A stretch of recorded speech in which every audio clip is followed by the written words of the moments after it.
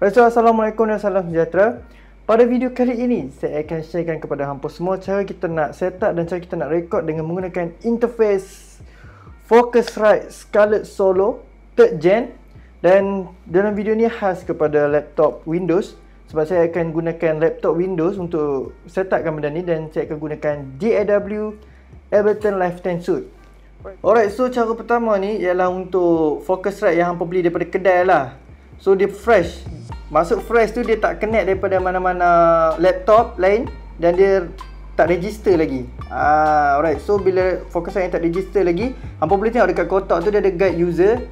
Once hampa dah connect dia punya USB tu ke dalam Windows, dia akan pop up satu launcher ataupun kita panggil dia setup kan. Sebelah untuk Mac, sebelah untuk Windows. So hampa follow lah.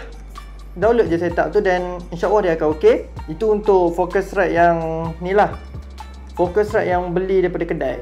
Kalau untuk Focusrite yang second hand uh, Kau boleh tengok cara kedua ni. Alright, so ini adalah cara kedua untuk kita download driver daripada Focusrite Kau boleh tengok dekat description Saya dah letak dah link kat bawah tu. Dan jangan risau virus Sebab ini adalah website rasmi daripada Focusrite sendiri. Uh, So ini adalah secure lah website ni. Alright, so kita akan isi tempat kosong akan ambil focus right? Dan ini adalah Scarlett Solo 3 Gen ikut model kita punya interface lah. So dia akan keluar lah bawah ni bila korang dah isi semua. So untuk driver ni kita akan ambil focus right? Control 3.6.0 for Windows. Dan just tekan download je. Akan bagi extension kat bawah tu. Tekan je. Right, so bagi korang yang tak download lagi, korang tekan je lah run tu. Saya dah download lah, so saya akan cancel lah. Alright, so bila korang dah settle semua download, follow je apa dia cakap. Dia akan suruh korang restart kau punya laptop. So korang restart lah. Dan lepas settle restart tu, korang akan dapat satu application ni ialah Focusrite Control. Uh, alright, so bila dah dapat ni, takkan ada masalah lah. Dalam Ableton. Alright, so bila dah dapat semua tu, saya akan buka saya punya door iaitu Ableton. Alright, option. Kita akan preference dan tengok audio device saya. Dia cakap no device. Yang ambil tekan tu Kita tekan Focusrite USB RCU So tak ada masalah lah. Okay untuk siapa yang pakai DAW lain Sama je cara dia. Korang pergi preference Sebab setiap DAW dia mesti ada preference dia.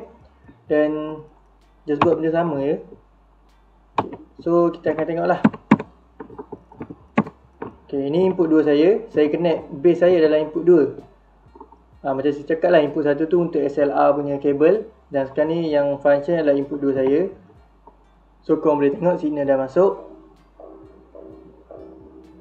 So ini merah ni kita akan slowkan dia. Baik, ini adalah signal dia. So boleh lah record